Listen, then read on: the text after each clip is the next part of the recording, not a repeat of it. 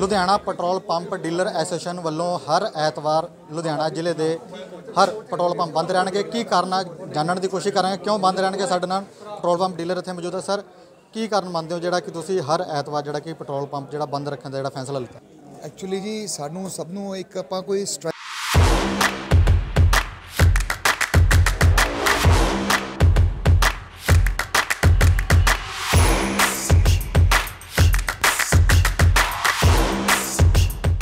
ਰੰਗਲਾ ਪੰਜਾਬ ਜੇ ਬਣਾਉਣਾ ਉਹਦੇ ਵਾਸਤੇ ਸਿਹਤਮੰਦ ਪੰਜਾਬ ਪਹਿਲਾਂ ਚਾਹੀਦਾ ਹੈ। 96 ਤੋਂ 97% ਲੋਕ ਜਿਹੜੇ ਨੇ ਉਹ ਮੁਹੱਲਾ ਕਲੀਨਿਕਾਂ ਚੋਂ ਠੀਕ ਹੋ ਕੇ ਘਰੇ ਵਾਪਸ ਚਲੇ ਜਾਂਦੇ ਨੇ। ਸਰਕਾਰੀ ਹਸਪਤਾਲਾਂ ਤੇ ਬਰਡਨ ਬਹੁਤ ਘਟ ਗਿਆ।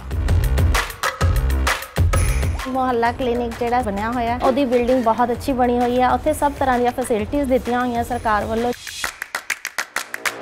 ਦੋ ਹਫ਼ਤੇ ਤੋਂ ਖੰਘ ਨੇ ਬਹੁਤ ਪਰੇਸ਼ਾਨ ਕਰਿਆ ਹੈ ਤੇ ਜੀ। ਮੈਂ ਪਹਿਲਾਂ ਬਾਹਰ ਪ੍ਰਾਈਵੇਟ ਦਵਾਈ ਲੈਂਦਾ ਰਿਹਾ ਫਿਰ ਇੱਥੇ ਆ ਕੇ ਲੱਤੀ ਜੀ। ਟੈਸਟ ਫ੍ਰੀ ਹੋਇਆ ਇੱਥੋਂ ਮੈਂ ਠੀਕ ਹੋ ਗਿਆ। ਹੁਣ ਮੈਂ ਠੀਕ ਹਾਂ ਬਿਲਕੁਲ। ਸ਼ਾਨਦਾਰ ਮੁਹੱਲਾ ਕਲੀਨਿਕ ਹੈ ਸਫ਼ਾਈ ਹੈ ਔਰ ਡਾਕਟਰ ਉਹਨਾਂ ਦੀ ਜਿਹੜੀ ਦਵਾਈ ਲਿਖਣੀ ਹੈ ਉਹ ਕੰਪਿਊਟਰ 'ਚ ਐਡ ਕਰ ਦਿੰਦੇ ਨੇ ਜਿੱਥੇ ਦਵਾਈ ਲੈਣੀ ਹੈ ਉੱਥੇ ਤੱਕ ਕੰਪਿਊਟਰ ਪਹੁੰਚ ਜਾਂਦੀ ਹੈ ਟੋਟਲ ਪੇਪਰਲੈਸ ਹੈ। ਮਾਨ ਸਾਹਿਬ ਨੇ ਬਹੁਤ ਵਧੀਆ ਉਪਰਾਲਾ ਕੀਤਾ। ਵਧੀਆ ਕੰਮ ਕਰਿਆ ਸਰਕਾਰ ਨੇ ਗਰੀਬਾਂ ਦਾ ਭਲਾ ਕਰਤਾ। ਪੰਜਾਬੀ 'ਚ ਕਿਹਾ ਜਾਂਦਾ ਹੈ, ਬਾਕੀ ਦੇ ਕੰਮ ਬਾਅਦ 'ਚ ਪਹਿਲਾਂ ਸਿਹਤ ਜ਼ਰੂਰੀ ਹੈ। ਸੋ ਅਸੀਂ ਜਦੋਂ ਸੌ ਚੁੱਕੀ, ਤਾਂ ਪਹਿਲੇ ਹੀ ਸਾਡਾ ਵਿਜ਼ਨ ਇਹ ਸੀਗਾ ਕਿ ਪੰਜਾਬ ਦੇ ਵਿੱਚ ਹੈਲਥ ਟੌਪ ਕਲਾਸ ਦਾ ਇਲਾਜ ਹੋਵੇ। ਸੋ ਇੱਕ ਮੈਡੀਕਲ ਹੱਬ ਦੇ ਰੂਪ ਦੇ ਵਿੱਚ ਅਸੀਂ ਸੋਚਿਆ ਔਰ ਮੈਂ ਕੋਈ ਸਾਨ ਨਹੀਂ ਕਰ ਰਿਹਾ ਤੁਹਾਡੇ ਤੇ। ਮੇਰਾ ਫਰਜ਼ ਹੈ ਜੀ ਇਹ।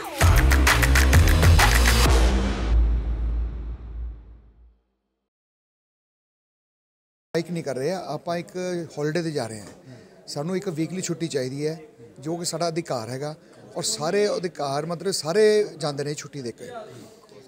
ਖਾਸ ਕਰ ਜਿਵੇਂ ਗੈਸ ਏਜੰਸੀਆਂ ਨੇ ਉਹਨਾਂ ਨੂੰ ਵੀ ਬੰਦ ਹੁੰਦੇ ਜੀ।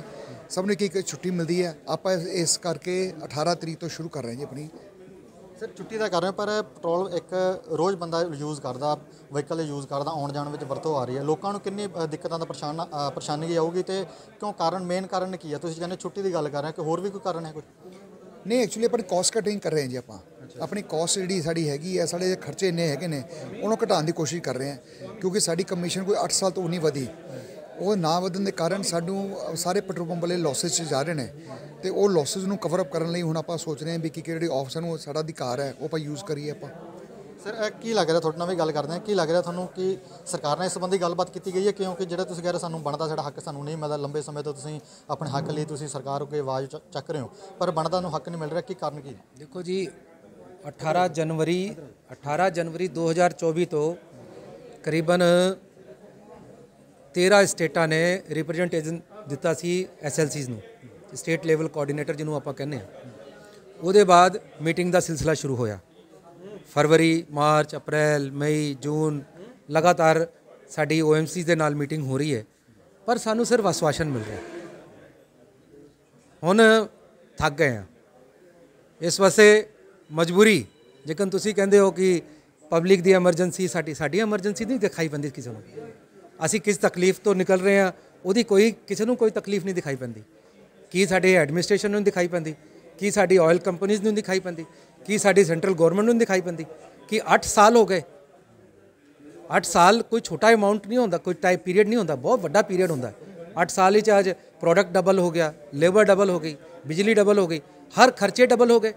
ਅਰੇ ਸਾਡੇ ਵਾਸਤੇ ਤੇ ਸੋਚੋ ਨਾ ਕਿੱਥੋਂ ਕਬ ਤੱਕ ਅਸੀਂ ਆਪਣੀ ਜੇਬੇ ਚੋਂ ਪੈਸੇ ਭਰ ਭਰ ਕੇ ਪੰਪ ਚਲਾਉਂਦੇ ਰਵਾਂਗੇ? ਕਹਿਣ ਦਾ ਮਤਲਬ ਤੁਹਾਨੂੰ ਬਣਦਾ ਜਿਹੜਾ ਕਿ ਕਮਿਸ਼ਨ ਜਾਂ ਕਿ ਹੋਰ ਵੀ ਤੁਹਾਡਾ ਜਿਹੜਾ ਬਣਦਾ ਹੱਕ ਨਹੀਂ ਮਿਲ ਰਿਹਾ ਤੁਹਾਨੂੰ? ਨਹੀਂ ਮਿਲ ਰਿਹਾ ਜਦਕਿ ਸਾਡਾ ਜਿਹੜਾ ਅਪੂਰੂ ਚੰਦਰਾ ਕਮੇਟੀ ਦਾ ਇੱਕ ਬਣਾਈ ਗਠੀ ਟੀਮ ਗਠਿਤ ਕੀਤੀ ਗਈ ਸੀ ਉਹ ਚ ਇਹ ਸਰਕਾਰਾਂ ਨੇ ਮੰਨਿਆ ਸੀ ਕਿ ਹਰ 6 ਮਹੀਨੇ ਚ ਅਸੀਂ ਕਮਿਸ਼ਨ ਬਣਾਵਾਂਗੇ। ਤੇ 6 ਮਹੀਨੇ ਦੀ ਕਮਿਸ਼ਨ ਦਾ ਮਤਲਬ ਕੀ ਹੋ ਗਿਆ? 8 ਸਾਲ ਦਾ ਮਤਲਬ 16 ਵੇਰੀ 16 ਵੇਰੀ ਕਮਿਸ਼ਨ ਨਹੀਂ ਵਧਿਆ ਨਾ? ਇੱਕ ਵਾਰ ਵੀ ਨਹੀਂ ਵਧਿਆ। ਇੱਕ ਵੇਰੀ ਨਹੀਂ ਵਧਿਆ। ਔਰ ਗੈਸ ਏਜੰਸੀਆਂ ਤਕਰੀਬਨ 11 ਵਾਰੀ ਕਮਿਸ਼ਨ ਵੱਧ ਚੁੱਕਾ। ਅਸੀਂ ਵੀ ਤੇ ਆਇਲ ਮਾਰਕੀਟਿੰਗ ਕੰਪਨੀ ਚ ਆਨੇ ਆ ਸਾਡਾ ਵੀ ਖਿਆਲ ਰੱਖਣਾ ਚਾਹੀਦਾ। ਸਰ ਜਿਹੜੇ ਤੁਸੀਂ ਪੰਪ ਜਿਹੜੇ ਹਰ ਐਤਵਾਰ ਬੰਦ ਕਰ ਰਹੇ ਹੋ ਤੇ ਟਾਈਮਿੰਗ ਕੀ ਹੈ? ਕਿੰਨੇ ਵਜੇ ਜਿਹੜਾ ਬੰਦ ਰਹੇਗਾ ਤੇ ਕਿੰਨੇ ਵਜੇ ਖੁੱਲੇਗਾ ਇਹ 18 ਤਰੀਕ ਸਵੇਰੇ 6 ਵਜੇ ਤੋਂ ਲੈ ਕੇ 19 ਤਰੀਕ ਸਵੇਰੇ 6 ਵਜੇ ਤੱਕ। 6 ਵਜੇ ਤੱਕ। ਅੱਛਾ ਜ਼ਰੂਰੀ ਜਿਹੜੀ ਸੇਵਾਵਾਂ ਹੁੰਦੀਆਂ ਨੇ ਜਿਵੇਂ ਐਮਰਜੈਂਸੀ ਸੇਵਾਵਾਂ ਹੁੰਦੀਆਂ ਨੇ ਉਹਦੇ ਉਹਨਾਂ ਨੂੰ ਛੂਟ ਕਿੰਨੀ ਕੁ ਦਿੱਤੀ ਜਾਏਗੀ? ਤੁਹਾਡੀ ਦੇਖੋ ਮੈਂ ਪਹਿਲੇ ਵੀ ਦੱਸ ਚੁੱਕਾ ਕਿ ਫਾਇਰ ਬ੍ਰਿਗੇਡ ਔਰ ਐਂਬੂਲੈਂਸ ਨੂੰ ਛੂਟ ਦਿੱਤੀ ਜਾਏਗੀ।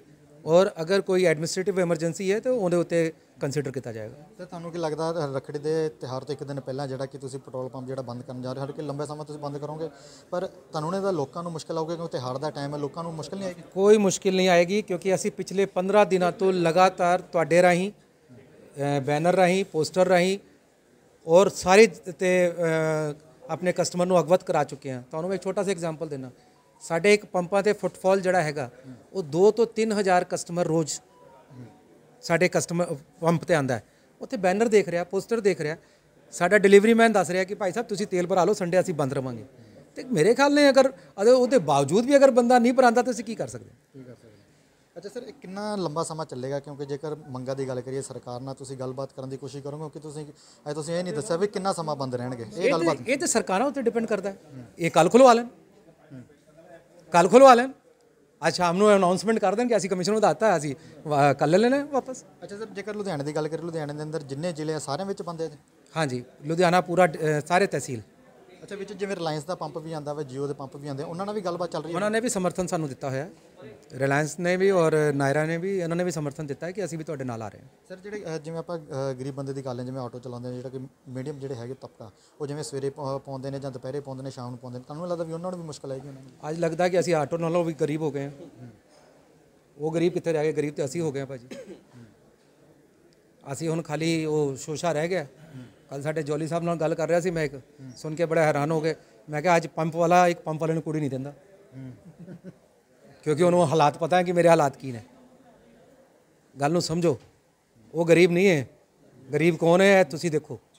ਧੰਨਵਾਦ। ਬਿਲਕੁਲ। ਲੁਧਿਆਣਾ ਦੇ ਪੈਟਰੋਲ ਪੰਪ ਡੀਲਰ ਐਸੋਸੀਏਸ਼ਨ ਵੱਲੋਂ ਜਿਹੜਾ ਕਿ ਫੈਸਲਾ ਲਿੱਤਾ ਗਿਆ ਲੁਧਿਆਣਾ ਸ਼ਹਿਰ ਦੇ ਵਿੱਚ ਹਰ ਐਤਵਾਰ ਜਿਹੜੇ ਕਿ ਪੈਟਰੋਲ ਪੰਪ ਬੰਦ ਰਹਿਣਗੇ ਸਵੇਰੇ 6 ਵਜੇ ਤੋਂ ਲੈ ਕੇ ਸੋਮਵਾਰ 6 ਵਜੇ ਤੱਕ ਬੰਦ ਰਹਿਣਗੇ ਔਰ ਇਹਨਾਂ ਦਾ ਕਹਿਣਾ ਕਿ ਜਿੰਨ ਤੱਕ ਸਾਡੀਆਂ ਮੰਗਾਂ ਨਹੀਂ ਮੰਨੀਆਂ ਜਾਂਦੀਆਂ ਇਹਦੇ ਪੈਟਰੋਲ ਪੰਪ ਬੰਦ ਰਹਿਣਗੇ ਲੁਧਿਆਣਾ ਤੋਂ ਲਖਵਿੰਦਰ ਸਿੰਘ दैनिक सवेरा टीवी देश दुनिया की हर खबर सबसे पहले देखने के लिए फॉलो करें Dainik Savera TV YouTube Facebook Instagram X और व्हाट्सएप चैनल पर।